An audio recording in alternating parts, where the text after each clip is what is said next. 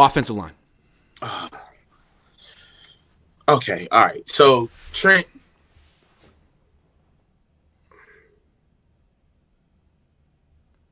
He makes it look good- easy. He One-on-one, makes it look easy. He makes it look easy. Trent had a good year. Yeah. Trent had a, Trent had an amazing year. Um, he still ranked as if not the best offensive lineman or tackle in the league, but at some point, you know, old habits die hard, man. There are some things about Trent that um, are left to be desired. The tipping plays is one of them. If we're gonna have an exit meeting, then we got to talk about it. Um, I'd like for Trent to come into camp in better shape.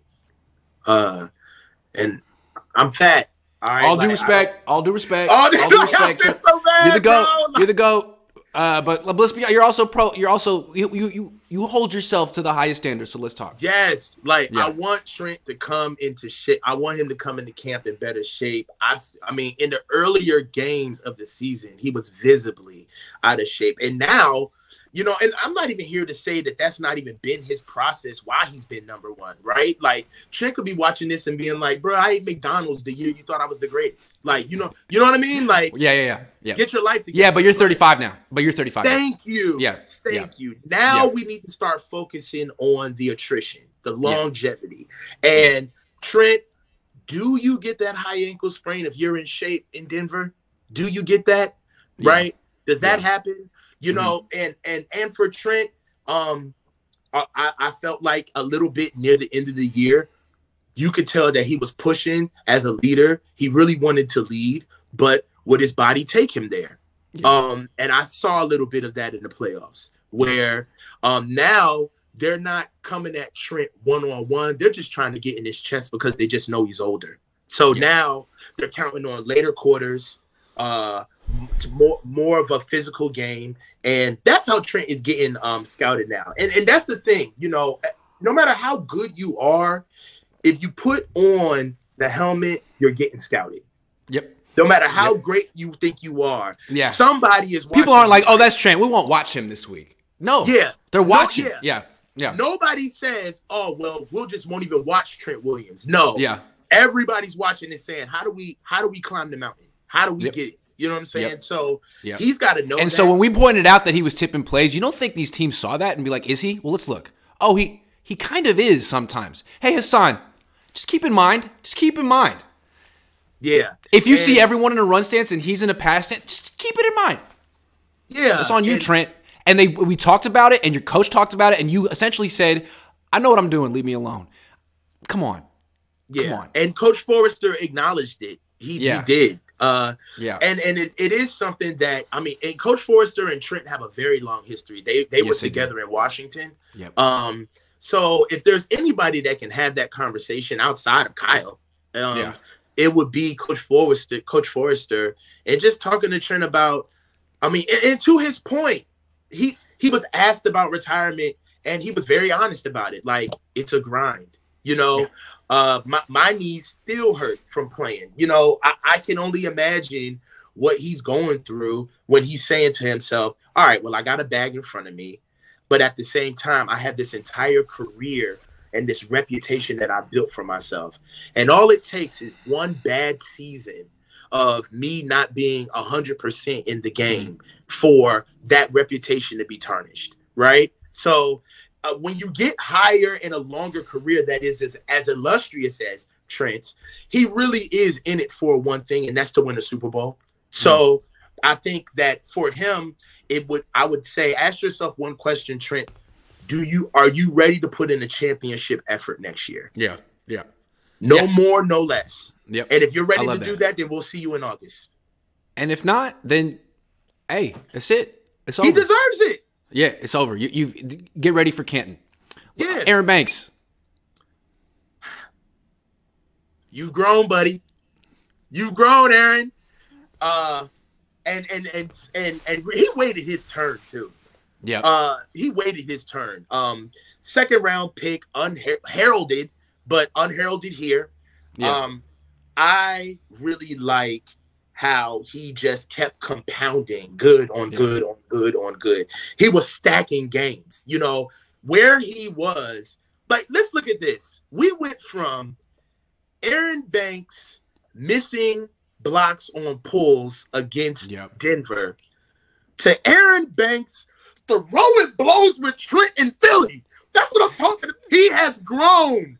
He has grown. He's a man now. He's a That's man. his that's his position. He took that. Left That's guard. his position now. Yep. Um, Yep. and what I would love to see out of Aaron Banks is ownership. Yep. Own it now. All right. Yep. It's not good enough that you start anymore. Now you need to start making your making yourself known a bit. Yeah, be a Pro Bowler next year. Be a Pro Bowler next year. That's the goal. You need to make yourself Yeah. known amongst your contemporaries.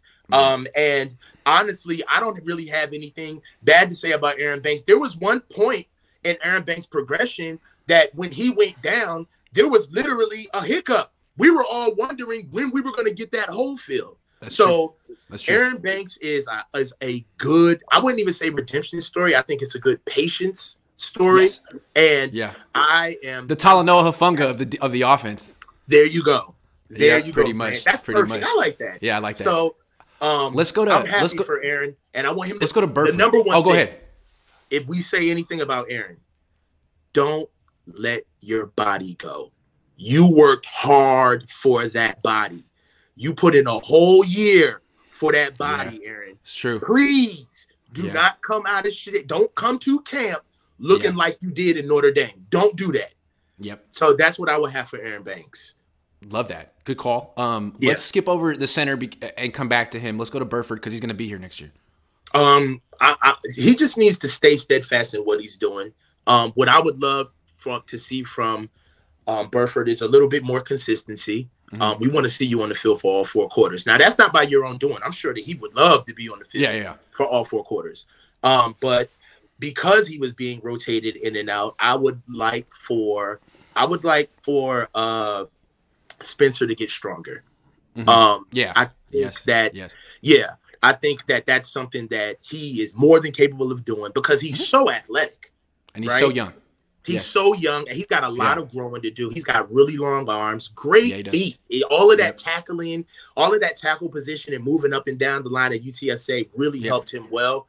Um, one of the things that I like about Spencer that I don't want to change is that to keep the same tenacity, he kind of came in as a pro a little Yeah. bit. Um, Yeah. how he how he does his work, how he goes about his business. Um, and I've watched him. He finishes blocks. The biggest thing that I would say is that he needs to work on his pad level um, and getting to the second level. Once he gets to the second level, he's very erect. Um, and I would work on making sure that he just gets stronger in his base. He needs a stronger core. He needs stronger legs. Um, Yeah. But as far as um, the athleticism that he brings, I, I think that he's going to get nothing but better. I hope they don't change his position. I, I really hope they keep. I agree with that. I agree with that. People say I'm moving Yeah. the right tackle. Whoa, he just had a, a, a good start to a career, Yeah. solid start at right. Keep him in one spot. He Yeah. hasn't mastered right guard yet. He hasn't. He hasn't even. Play, he hasn't even. To your point, he hasn't showed that he can do it for four quarters yet. Yeah, I mean, they were Yeah. rotating him. So yeah, good start. Keep him there, and that's more for Kyle and Chris Foerster. Um, Right. Okay, let's talk about uh, the two guys who are free agents. J- starting with Jake Brendel, who frankly we were all freaking out about before the season started, and he was he wasn't even a was he a Pro Bowl alternate, or was he just he was a Pro Bowl alternate? Uh, yeah, he was. Yeah, freaking Pro Bowl UCLA too. Anyway, How you like me now? how you like me now, Jake? Um, I think that Jake is. Uh, I think Jake has a huge heart. Um, he, I've never seen him. I've never seen him stock block. I've seen him always make things happen to move forward. Uh, Yeah. he's he's a bit. Um, he's a jack of all trades, but a master at none. But being um, but not being a master is better than being a master at one. Like he's he's a jack of all trades. Like he needs one of the things that I love about Jake Brendel is that um, the consistency of staying healthy. Um, he, I don't think he was ever out this year, was he? I don't think he was.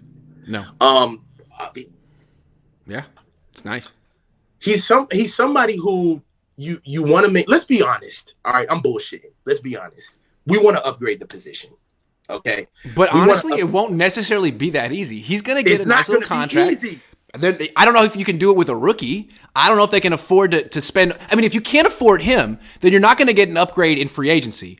I mean, it's got to be it's got to be Zakelj or, or someone like there's a there's a real Well, we're ho- chance we're they they downgraded the position. Yeah, We're hoping for Nick. Um, I, Yeah. I, I want Nick Zakelj to take it over. I think. yeah, I mean, Jake Brendel gets beat. Um, yeah. but I, I, I don't want to tell a vet. I just feel like it's unrealistic for me to tell a vet who is a, a consistent utility guy to go out and do something better. Like, you know, like he just had this the year of his career. He just had Yeah. the year of his career. Yeah, Yeah. he should be proud. Um, yeah, so I mean, kudos to him for having a great year. Uh, Yeah. I don't, I don't want to sit here and try to. I don't want to pump him up to like he's not Creed Humphrey, but he's not Jason Kelce. but he's not. Yeah, he's not Jason Kelce, Kelce but um, he's ours. Well, you know what I'm he- saying? this year he was.